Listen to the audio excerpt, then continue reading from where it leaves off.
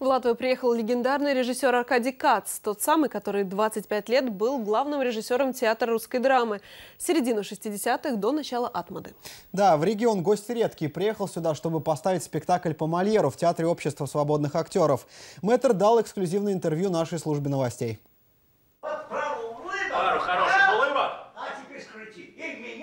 Дон Жуан Мольера – это не просто пьеса, это клад, говорит режиссер Аркадий Кац. Фарс, который несет глубокую философскую мысль о человеческой свободе.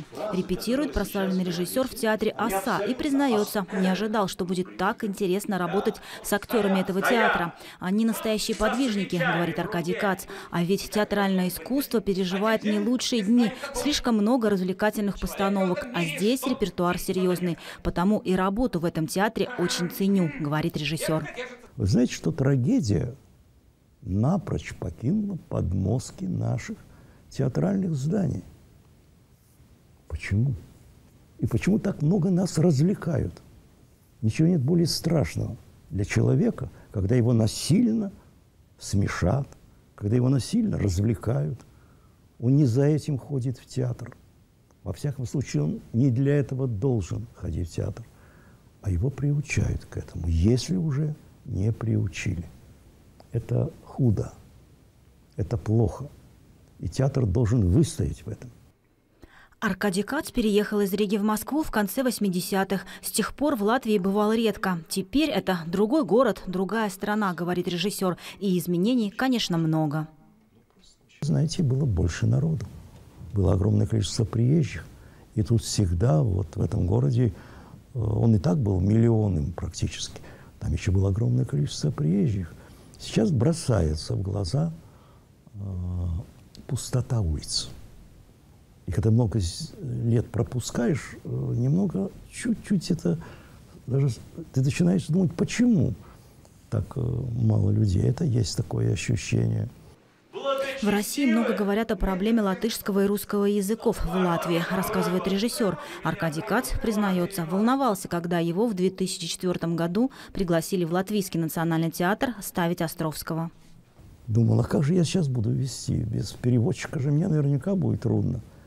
Вот поверьте мне, молодежь вот национального театра говорит нехорошо. Она говорит прекрасно по-русски. Практически все.